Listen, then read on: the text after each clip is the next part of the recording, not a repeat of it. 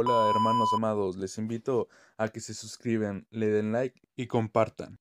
Así dice el Señor, en cuanto a mí, esta es mi alianza con ellos. Mi espíritu está en ti, y mis palabras que puse en tu boca no se apartarán de tu boca, ni de la boca de tu descendencia, ni de la boca de la descendencia de tu descendencia. ¿Alguien más quiere leer la escritura?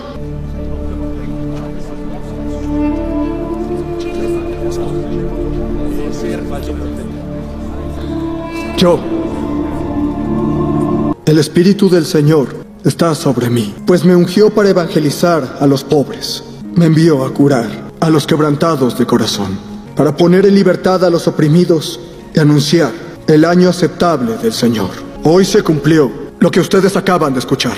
¿De qué estás hablando, hijo del carpintero, José? Sin duda van a recitar el proverbio que dice, médico, cúrate a ti mismo y querrán que haga en Nazaret todos los milagros que hice en Cafarnaúm. En verdad os digo, ningún profeta es bien recibido en su tierra. ¿Te estás llamando profeta, Jesús? Muchas viudas existían en Israel en los días de Elías, cuando el cielo se cerró por tres años y seis meses, provocando mucha hambre. Pero ninguna de ellas fue enviada excepto una de ellas, nacida en la ciudad de Sarepta de Sidón. También había muchos leprosos en Israel en el tiempo del profeta Eliseo, y ninguno fue curado.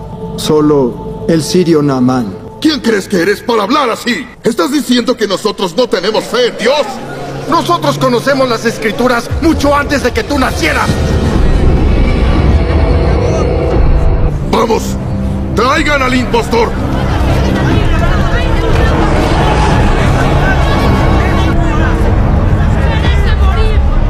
¡No lo hagan! ¡Por favor! ¡Ustedes están locos! ¡Déjenlo! Está yendo contra la ley. Jesús no blasfemó en ningún momento. ¡Cállense! Este hombre ofende a Dios. Él merece morir.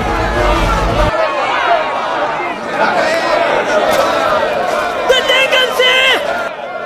Lo que están haciendo es un crimen. No te metas en donde no te llaman. ¿Y van a asesinar a un hombre inocente? Perdón, señor, pero yo estoy de acuerdo con él. Sería un asesinato y está en contra de la ley de Dios. ¡Cállate! Nadie va a impedir mi lucha contra el mal. ¡Nadie! ¿Qué pretenden? ¿Enseñarme la ley de Dios? ¿Usted se encargó de las leyes cuando la viuda de Abías quedó en la miseria? ¡No!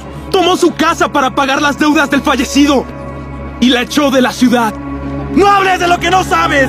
¡Tú también eres un blasfemo! ¡No entendiste nada de lo que dijo este hombre!